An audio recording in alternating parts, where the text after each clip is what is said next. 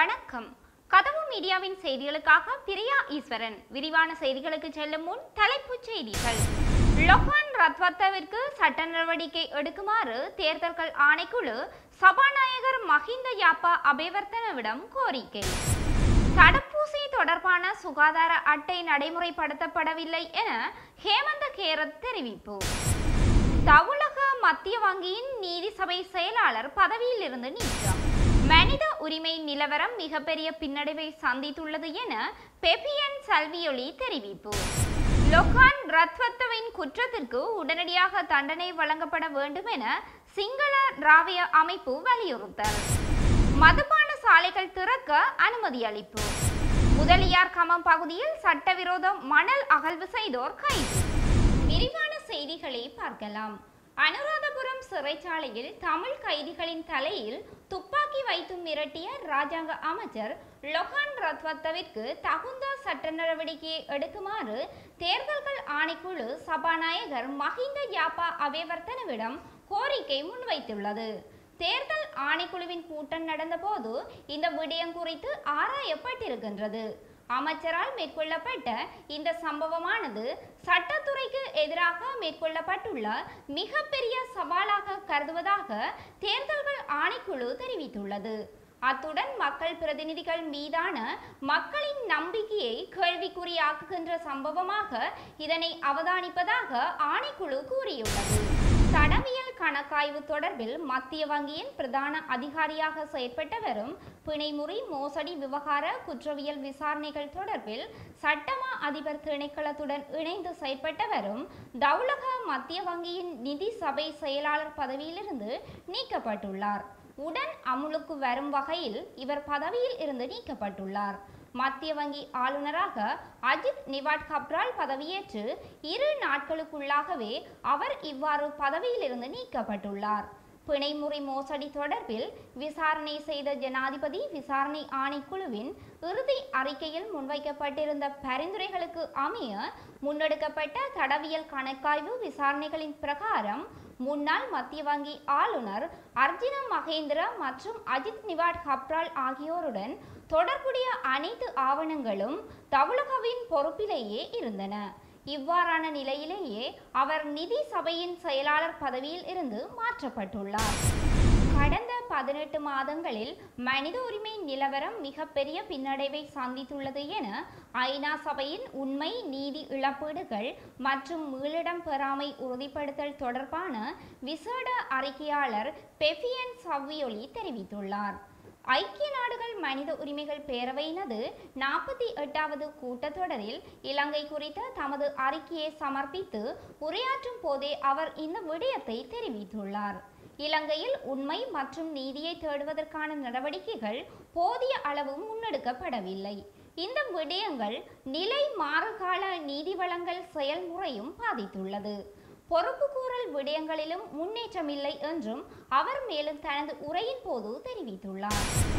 தமிழ் அரசியல் கைதிகளுக்கு கொலை அச்சுறுத்தல் விடுத்த முன்னாள் ராஜாங்க அமைச்சர் லொஹான் ரத்வத்தவின் குற்றத்திற்கு உடனடியாக தண்டனை வழங்கப்பட வேண்டும் என சிங்கள ராவிய அமைப்பு வலியுறுத்தியுள்ளது. இது தொடர்பில் சிங்கள ராவிய அமைப்பின் தலைவர் அக்மி மென தயானந்த தேரர் தொடர்ந்தும் கருத்து தெரிவிக்கையில் சிறைச்சாலைக்கு சென்ற முன்னாள் ராஜாங்க அமைச்சர் லொகான் ரத்வத்த தமிழ் அரசியல்வாதி ஒருவருக்கு தமது பாதுகாப்பு துப்பாக்கியினை காண்பித்து அச்சுறுத்தல் விடுத்த சம்பவமானது மிகவும் பாரதூரமானது. இது பெரிய குற்ற செயலாகும் குற்றம் பாரியளவில் செய்யப்பட்டுள்ளது. ஆகவே நீதி நிலைநாட்டப்பட வேண்டும். குற்றத்தினை செய்துவிட்டு பதவியை விலக்கினால் எல்லாம் சரியாகிவிடாது. குற்றத்திற்கு தண்டனையே வழங்கப்பட வேண்டும். இல்லையென்றால் எதிர்காலத்தில் நாட்டு மக்களும் குற்றங்களை செய்துவிட்டு அமைச்சர்கள் பாணியில் அவர்களும் செய்ய முற்படுவார்கள். லொகான் ரத்வத்தவிற்கு எதிராக உரிய வகையில் சட்ட நடவடிக்கை எடுக்கப்பட வேண்டும் என மக்கள் எதிர்பார்க்கின்றனர். இந்த அரசாங்கம் இத்தகைய வன்முறைகளில் தொடர்ந்து ஈடுபட்டு வருமாயின் இறுதி காலத்தில் மக்களின் தாக்குதலுக்கு உள்ளாகித்தான் இறந்து போவார்கள் என்றும் எச்சரிக்கை விடுத்துள்ளார். தொற்றினை கட்டுப்படுத்தும் முகமாக பயணத்தடை நடைமுறைப்படுத்தப்பட்டுள்ளதோடு மதுபான சாலைகளும் மூடப்பட்டிருந்தன. இந்நிலையில் நேற்றைய தினம் அரசாங்கத்தினால் மதுபான சாலைகள் திறக்க அனுமதி அளிக்கப்பட்டுள்ளது. இதன் காரணமாக யாழ்ப்பாணத்தில் உள்ள அனைத்து மதுபான சாலைகளின் முன்பாகவும் நீண்ட வரிசையில் மது பிரியர்கள் காத்திருந்து மதுபானத்தை கொள்வனவு செய்வதை காணக்கூடியதாக உள்ளது. மதுபான சாலைகளுக்கு அண்மையில் போக்குவரத்து நெரிசல் ஏற்பட்டதோடு சமூக இடைவெளி பேணப்படவில்லை என்பதை அவதானிக்க கூடியதாகவும் உள்ளது. போலீசார் அவ்விடத்தில் வீதி கடமையில் ஈடுபட்டிருந்தும் சமூக இடைவெளி பேணாமையை கருத்தில் கொள்ளாது செயற்படுவதாகவும் சமூக ஆர்வலர்கள் விசனம் தெரிவித்துள்ளனர். இதுவரை தடுப்பூசி தொடர்பான சுகாதார அட்டை நடைமுறைப்படுத்தவில்லை என சுகாதார சேவை பிரதி பணிப்பாளரும் ஊடக பேச்சாளருமான விசேட வைத்தியர் ஹேமந்த கேரத் தெரிவிக்கின்றார்.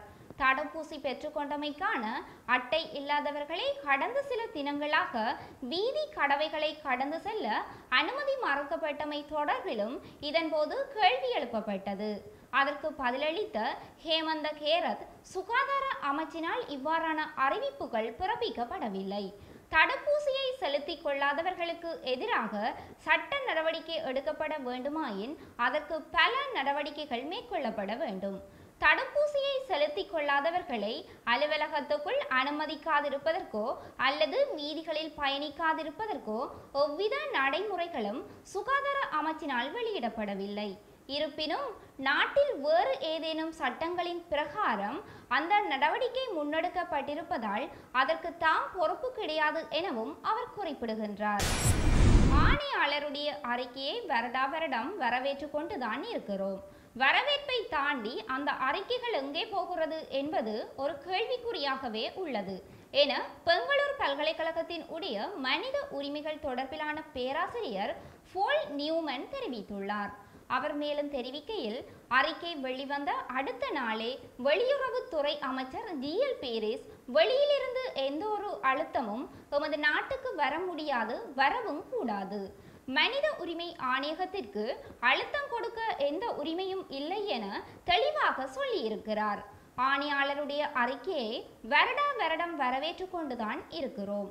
வரவேற்பை தாண்டி அந்த அறிக்கைகள் எங்கே போகிறது? ஒரு கேள்விக்குறியாகவே உள்ளது. மக்களுக்கு எப்போது நீதி கிடைக்கும் என்பதும் கேள்விக்குறியாகவே உள்ளது. இவ்வாறு இன்னும் எத்தனை வருடங்களுக்கு இருக்க போகிறது என்பதும் கேள்விக்குறியாகவே உள்ளது என தெரிவித்துள்ளார். மன்னார் மாந்தை மேற்கு பிரதேச செயலாளர் பிரிவில் உள்ள முதலியார் கமம் பகுதியில் சட்டவிரோதமான முறையிலும் அனுமதி பத்திர விதிமுறைகளை மீறியும் மணல் ஏற்றி சென்ற மூன்று டிப்பர் ஐந்து உளவு இயந்திரங்கள் போலீசாரினால் கைப்பற்றப்பட்டது. அத்துடன் எட்டு சாரதிகளையும் இலுப்பை கடவை போலீசார் கைது செய்துள்ளனர். கைது செய்யப்பட்ட எட்டு சாரதிகளும் போலீசார் பிணையில் விடுவித்துள்ளனர் எதிர்வரும் இருபத்தி இரண்டாம் திகதி கைப்பற்றப்பட்ட மணல் மற்றும் வாகனங்கள் மன்னார் நீதிமன்றில் ஒப்படைக்கப்பட்டுள்ளதோடு அன்றைய தினம் குறித்த எட்டு சாரதிகளும் மன்றில் ஆஜர்படுத்தப்பட்டுள்ளமை குறிப்பிடத்தக்கது.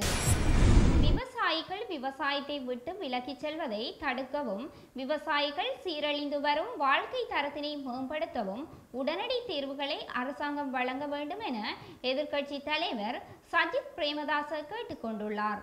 இது தொடர்பில் அறிக்கை ஒன்றை எதிர்க்கட்சி தலைவர் வெளியிட்டுள்ளார். உழவர் சமூகத்தின் பிரச்சனைகளை அரசாங்கத்தால் புரிந்து கொள்ள முடியவில்லை. தொற்று நோயுடன் போராடும் உலகில் பல நாடுகள் சுகாதாரம் மற்றும் உணவு பாதுகாப்பிற்கு முன்னுரிமை அளித்துள்ளன. இருந்த போதிலும் இலங்கை அரசாங்கம் இரண்டையும் புறக்கணித்துள்ளதாக எதிர்க்கட்சி தலைவர் மேலும் சுட்டிக்காட்டியுள்ளார். இனப்படுகொலையாளி சித்தார்த்தனுக்கும் புலட் அமைப்புக்கும் ஹஜேந்திரகுமார் பொன்னம்பலம் என்ற பெயரை உச்சரிக்க கூட தகுதியில்லை என தமிழ் தேசிய மக்கள் முன்னணியின் ஊடக பேச்சாளர் கனகரத்னம் சுகாஸ் தெரிவித்துள்ளார்.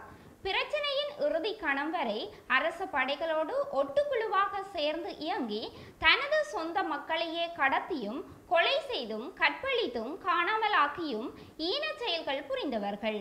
வவுனியாவில் தமிழ் அரசியல் எதிர்காலம் இல்லாததால் யாழ்ப்பாண யாழ்ப்பாணத்தில் அரசியல் செய்யும் இன படுகொலையாளிகள் சித்தார்த்தனுக்கும் புலட் அமைப்புக்கும் கஜேந்திரகுமார் பொன்னம்பலம் என்ற பெயரை உச்சரிக்க கூட தகுதியில்லை.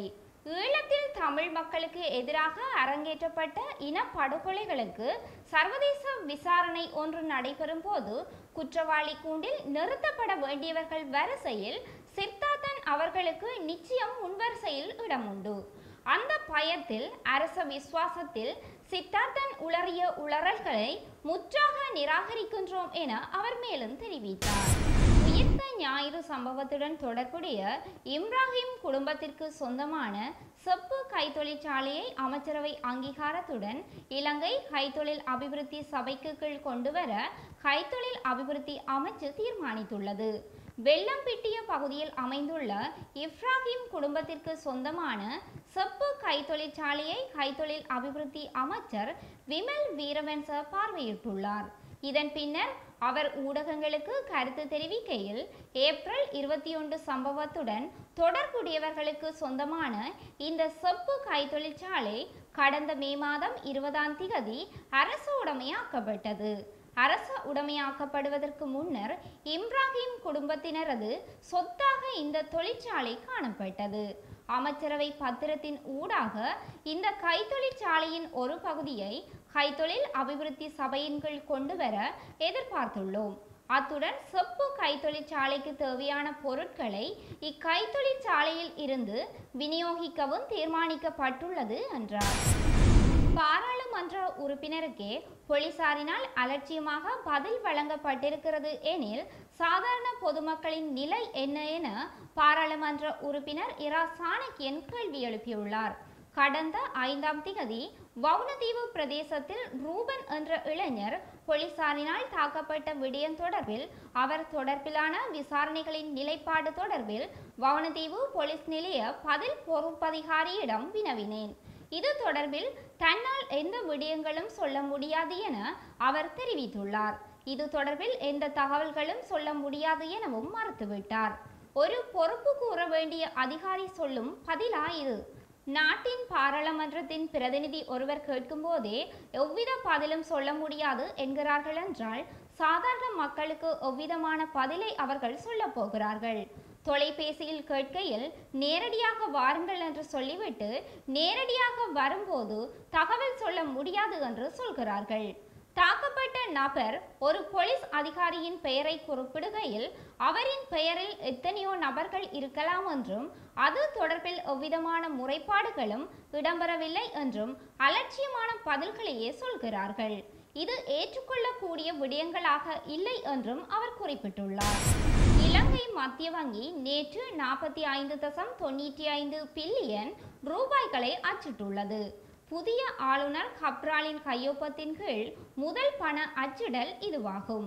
இலங்கை மத்திய வங்கியிடம் இருந்து வணிக வங்கிகள் இருபத்தி ஏழு தசம் எண்பத்தி ஒரு பில்லியன் ரூபாய்களை ஆறு வீத வட்டிக்கு கடனாக பெற்றன. இதனை அடுத்து ஒரே நாளில் பணவீக்கம் இருபத்தி நான்கு தசம் எழுபத்தி எட்டு பில்லியன் அதிகரித்து இருநூற்றி ஒன்பது தசம் எண்பத்தி மூன்று பில்லியனாக உயர்வை சந்தித்துள்ளது.